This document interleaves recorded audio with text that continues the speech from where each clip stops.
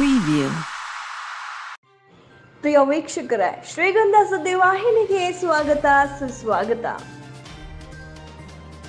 ಪ್ರತಿದಿನವೂ ತನ್ನ ಐತಿಹಾಸಿಕ ಸೌಂದರ್ಯದ ಮೂಲಕ ನೂರಾರು ಪ್ರವಾಸಿಗರನ್ನು ಬರಸೆಳೆಯುವ ಸ್ಥಳ ನಮ್ಮ ಮೈಸೂರು. ಇದೇ ಮೈಸೂರಿಗೆ ಮತ್ತೊಂದು ಮುಕುಟ ಮಣಿ ಎಂಬಂತೆ ಜನರು ನಿರೀಕ್ಷೆಯತ್ತ ಕಾಯುವಂತೆ ಮಾಡುವ ಬಸ್ ಒಂದು ತಯಾರಾಗಿದೆ. ಏನಪ್ಪಾ ಇದು ಅಂತ ಆಶ್ಚರ್ಯ ಆಗ್ತಿದ್ಯಾ? ಹಾಗಾದ್ರೆ ನೋಡೋಣ ಬನ್ನಿ. ಹೌದು. ಇಡೀ ಮೈಸೂರನ್ನ ಆರಾಮಾಗಿ ಕುಳಿತಲೇ ವೀಕ್ಷಿಸುತ್ತಾ ಸಾಗುವ ನಿಟ್ಟಿನಲ್ಲಿ ಪ್ರವಾಸೋದ್ಯಮ ಇಲಾಖೆ ವಿನೂತನ ಕಾರ್ಯಕ್ರಮವನ್ನು ಹಮ್ಮಿಕೊಂಡಿದೆ. ಪ್ರವಾಸಿಗರನ್ನು ಕುಳಿತ ಜಾಗದಿಂದಲೇ ಕರೆದೊಯ್ಯುವ ಡಬಲ್ ಡೆಕ್ಕರ್ ಬಸ್ ಸಿದ್ಧವಾಗಿದೆ. ಸದ್ಯ ಈ ಬಸ್ಗೆ ಅಂಬಾರಿ ಎಂದು ನಾಮಕರಣ ಮಾಡಲಾಗಿದ್ದು, ಪ್ರವಾಸಿಗರು ಆರಾಮಾಗಿ ಡಬಲ್ ಡೆಕ್ಕರ್ ಬಸ್ನಲ್ಲಿ ಸಂಚಾರ ಮಾಡುತ್ತಾ ಇನ್ನು ಮುಂದೆ ಸಾಂಸ್ಕೃತಿಕ ನಗರಿಯ ಸೌಂದರ್ಯ ಸವಿಯಬಹುದಾಗಿದೆ. ಬಹುದಿನಗಳ ಮೈಸೂರಿಗರ ಕನಸು ಈಗ ನನಸಾಗಿದ್ದು ಶನಿವಾರ, ಅಂದ್ರೆ ಇವತ್ತು ಈ ಯೋಜನೆಯ ಟ್ರಯಲ್ ರನ್ ಸಹ ನಡೆದಿದೆ. ಫೀಲ್ಡ್ ಮಾರ್ಷಲ್ ಕಾರ್ಯಪ್ಪ ವೃತ್ತದಿಂದ ಬಸ್ಗೆ ಚಾಲನೆ ನೀಡಲಾಗಿದೆ. ಈ ಅಂಬಾರಿ ಬಸ್ ಮೈಸೂರಿನ ಜಿಲ್ಲಾಧಿಕಾರಿ ಕಚೇರಿ ಕ್ರಾಫರ್ಡ್ ಹಾಲ್ ಕುಕ್ಕರಳ್ಳಿ ಕೆರೆ, ಕೃಷ್ಣರಾಜ ಬುಲೇವಾರ್ಡ್ ರಸ್ತೆ, ರಾಮಸ್ವಾಮಿ ವೃತ್ತದ ಮೂಲಕ ಸಾಗಿ ಫೀಲ್ಡ್ ಮಾರ್ಷಲ್ ಕಾರ್ಯಪ್ಪ ವೃತ್ತವನ್ನು ತಲುಪಿದೆ. ಬಸ್ನ ಸಂಚಾರದ ವೇಳೆ ಆಗುವ ತೊಂದರೆಗಳ ಬಗ್ಗೆಯೂ ಪರಿಶೀಲನೆ ನಡೆಸಲಾಗಿದ್ದು ಇನ್ಮುಂದೆ ಮೈಸೂರಿಗೆ ಆಗಮಿಸುವ ಪ್ರವಾಸಿಗರಿಗೆ ಡಬಲ್ ಡೆಕ್ಕರ್ ಬಸ್ ಸಂಚಾರ ಸಿಗಲಿದ್ದು, ಇದರ ಆನಂದವನ್ನ ಪ್ರವಾಸಿಗರು ಸವಿಯಬಹುದಾಗಿದೆ. ಇನ್ನ ಕೊರೋನಾ ಬಂದ ನಂತರದಲ್ಲಿ ಜನರ ಜೀವನದಲ್ಲಿ ಸಾಕಷ್ಟು ಬದಲಾವಣೆ ಕಂಡಿದೆ. ಅದೇ ರೀತಿ ಆರೋಗ್ಯದಲ್ಲೂ ಕೂಡ ಒಂದಾದ ಮೇಲೊಂದರಂತೆ ಸಮಸ್ಯೆಗಳು ಕಂಡು ಬರ್ತಿವೆ ಕೆಲವರಿಗೆ ಜ್ವರ, ಒಣಕೆಮ್ಮು ಮತ್ತು ಮೈಕೈ ನೋವು ಕಾಣಿಸಿಕೊಳ್ತಿವೆ. ಇನ್ನು ಕೆಲವರಿಗೆ ಸೋಂಕು ಹೆಚ್ಚಾದಂತೆ ಬೇರೆ ಬೇರೆ ಸಮಸ್ಯೆಗಳು ಕಾಣಿಸಿಕೊಳ್ತಿವೆ. ಅವುಗಳಲ್ಲಿ ಚರ್ಮದ ಸೋಂಕಿನ ಸಮಸ್ಯೆ ಕೂಡ ಒಂದು. ಸೋಂಕಿನ ಇನ್ನಿತರ ಸಮಸ್ಯೆಗಳು ಕೆಲವೊಮ್ಮೆ ತೀರಾ ಕೆಟ್ಟದಾಗಿರುತ್ತೆ. ಬಹಳಷ್ಟು ದಿನಗಳವರೆಗೆ ಇವುಗಳ ಬಗ್ಗೆ ನಮಗೆ ಅರಿವಿರುವುದಿಲ್ಲ.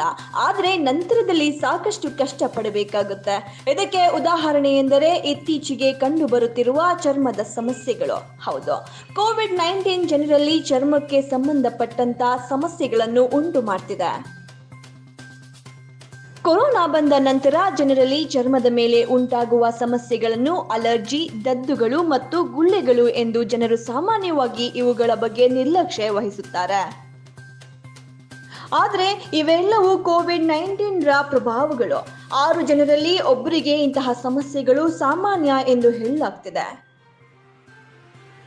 ಇನ್ನು ಕೆಲವರಿಗೆ ಕೆಲವೇ ದಿನಗಳಲ್ಲಿ ಇವುಗಳಿಂದ ಪರಿಹಾರ ಸಿಕ್ಕಿದರೆ ಇನ್ನು ಕೆಲವರಿಗೆ ವಾರಗಳು ಮತ್ತು ತಿಂಗಳುಗಳು ಕಾಯಬೇಕಾಗುತ್ತೆ. ಈ ರೋಗ ಲಕ್ಷಣಗಳನ್ನು ಸಹಜವಾಗಿ ತೆಗೆದುಕೊಳ್ಳುವ ಹಾಗಿಲ್ಲ. ದೊಡ್ಡವರಿಗೆ ಹೋಲಿಸಿದರೆ ಚಿಕ್ಕ ಮಕ್ಕಳಲ್ಲಿ ಚರ್ಮದ ಸಮಸ್ಯೆಗಳು ಕೊರೋನಾ ನಂತರದಲ್ಲಿ ಹೆಚ್ಚಾಗಿ ಕಂಡು ಬರ್ತವೆ ಇದಕ್ಕೆ ಸಂಬಂಧಪಟ್ಟಂತ ಕೆಲವೊಂದು ಆರೋಗ್ಯ ಚಿಹ್ನೆಗಳು ಈ ರೀತಿ ಇವೆ. ಕೋವಿಡ್ ನೈನ್ಟೀನ್ ಸಮಸ್ಯೆ ಎದುರಾದ ನಂತರದಲ್ಲಿ ಜನರ ದೇಹದಲ್ಲಿ ವೈರಸ್ ಸಂತತಿ ಹೆಚ್ಚಾಗಿ ಅವುಗಳು ಹೃದಯದ ಮೂಲಕ ಎಲ್ಲ ರಕ್ತನಾಳಗಳಲ್ಲಿ ಸಂಚರಿಸಿದ ಚರ್ಮದ ಭಾಗವನ್ನು ತಲುಪುತ್ತವೆ. ಇಲ್ಲಿ ಉರಿಯೂತ ಕಂಡುಬರುತ್ತದೆ. ಚರ್ಮದ ಮೇಲೆ ಕಂಡುಬರುವ ರದ್ದುಗಳು ಕೆಂಪು ಬಣ್ಣದಿಂದ ಕೂಡಿ ವಿಪರೀತ ಕೆರೆತ ಉಂಟು ಮಾಡುತ್ತವೆ. ಮಕ್ಕಳು ಹಾಗೂ ಶಾಲೆಗೆ ಹೋಗುವ ಮಕ್ಕಳ ದೇಹದ ಚರ್ಮದ ಮೇಲೆ ತೇಪೆ ಹಾಕಿದಂತೆ ಚರ್ಮದ ದದ್ದುಗಳು ಕಾಣಿಸುತ್ತವೆ. ವೈದ್ಯಕೀಯ ಲೋಕದ ಪ್ರಕಾರ ಇದಕ್ಕೆ ಪ್ರಮುಖ ಕಾರಣವೆಂದರೆ ದೇಹದಲ್ಲಿ ರಕ್ತದ ಒತ್ತಡ ಏರುಪೇರು ಆಗುವುದರಿಂದ ಈ ರೀತಿ ಆಗುತ್ತದೆ. ಆಮ್ಲಜನಕದ ಕೊರತೆ ಕೂಡ ಉಂಟಾಗುತ್ತದೆ. ಇದರಿಂದ ಕೆಲವರಿಗೆ ಬಿಸಿಲಿನಲ್ಲಿ ಮತ್ತು ಶೆಕೆಯಲ್ಲಿ ಚಳಿ ಉಂಟಾದ ಮತ್ತು ಮೈ ನಡುಕ ಕಂಡು ಬಂದ ಪ್ರಭಾವ ಎದುರಾಗುತ್ತೆ.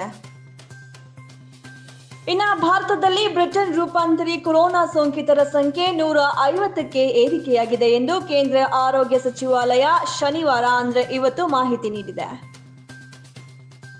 ಜಾನ್ವರಿ ಆರರಂದು ಸೋಂಕಿತರ ಸಂಖ್ಯೆ ಎಪ್ಪತ್ಮೂರು ಇತ್ತು. ಈಗ ಅದು ನೂರ ಐವತ್ತಕ್ಕೆ ಏರಿಕೆಯಾಗಿದೆ. ಎಲ್ಲಾ ಸೋಂಕಿತರನ್ನು ಆಯಾ ರಾಜ್ಯಗಳ ಆರೋಗ್ಯ ಕೇಂದ್ರಗಳಲ್ಲಿ ಪ್ರತ್ಯೇಕವಾಗಿ ಕ್ವಾರಂಟೈನ್ ಮಾಡಲಾಗಿದೆ ಎಂದು ಆರೋಗ್ಯ ಸಚಿವಾಲಯ ತಿಳಿಸಿದೆ. ಜಾನ್ವರಿ ಆರರಂದು ಸೋಂಕಿತರ ಸಂಖ್ಯೆ ಎಪ್ಪತ್ಮೂರು ಇತ್ತು. ಈಗ ಅದು ನೂರ ಐವತ್ತಕ್ಕೆ ಏರಿಕೆಯಾಗಿದೆ. ಎಲ್ಲಾ ಸೋಂಕಿತರನ್ನು ಆಯಾ ರಾಜ್ಯಗಳ ಆರೋಗ್ಯ ಕೇಂದ್ರಗಳಲ್ಲಿ ಪ್ರತ್ಯೇಕವಾಗಿ ಕ್ವಾರಂಟೈನ್ ಮಾಡಲಾಗಿದೆ ಎಂದು ಆರೋಗ್ಯ ಸಚಿವಾಲಯ ತಿಳಿಸಿದೆ. ಸೋಂಕಿತರ ಸಂಪರ್ಕಿತರ ಪತ್ತೆ ಹಚ್ಚಿ ಅವರನ್ನೂ ಕ್ವಾರಂಟೈನ್ ಮಾಡಲಾಗಿದ್ದು, ವೈರಸ್ ನಿಗ್ರಹಕ್ಕೆ ಎಲ್ಲ ರೀತಿಯ ಮುಂಜಾಗ್ರತಾ ಕ್ರಮ ಕೈಗೊಳ್ಳಲಾಗಿದೆ ಎಂದು ಸಚಿವಾಲಯ ತಿಳಿಸಿದೆ. ಬ್ರಿಟನ್ ರೂಪಾಂತರಿ ಕೊರೋನಾ ಭಾರತ ಮಾತ್ರವಲ್ಲದೆ Denmark, Netherlands, Australia, Italy, Sweden, France, Spain, Switzerland, Germany, Canada, Japan ಮತ್ತು ಸಿಂಗಾಪುರ ಸೇರಿದಂತೆ ಹಲವು ದೇಶಗಳಲ್ಲಿ ವರದಿಯಾಗಿದೆ.